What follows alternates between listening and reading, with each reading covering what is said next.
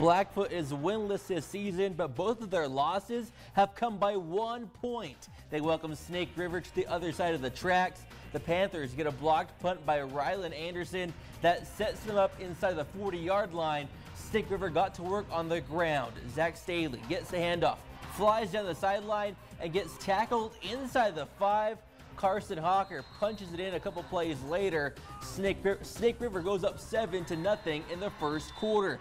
They get the ball back in the second quarter. Cole Gilbert keeps it himself on the read option. He is committed to scoring either way. He dives the pylon, gets into the end zone, but Blackfoot comes back to beat Snake River. And go to my Twitter feed to see a ridiculous catch by Blackfoot receiver Javante King. You don't want to miss it.